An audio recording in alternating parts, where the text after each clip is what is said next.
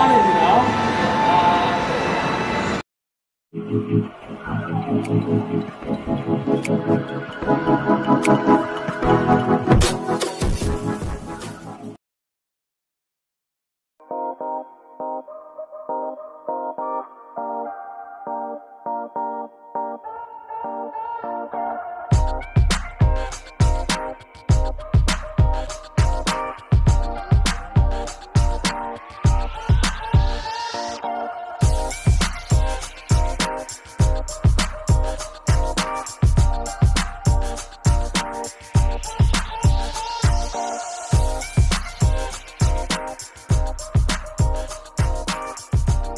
အားလုံးပဲမင်္ဂလာပါ MD2G page ကနေကြိုဆိုပါရစေအခုကျွန်တော်ရောက်ရှိနေတဲ့နေရာကတော့မလေးရှားနိုင်ငံမှာ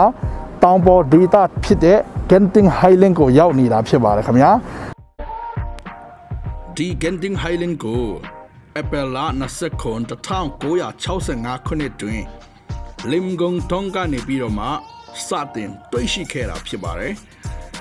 သူ့ရဲ့သားဖြစ်သူ တန်ဆာလင်ကနေပြီးတော့မှအခုဆက်လက်ပြီးဥဆောင်နေတာဖြစ်တယ်။ဒီနေရာက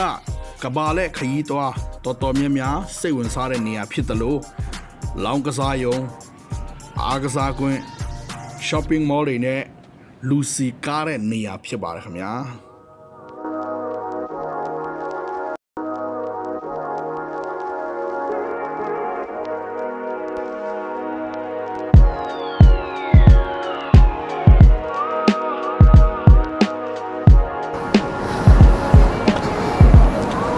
ဟုတ်ပြီအထက်ကိုတော့လေးလာရအောင်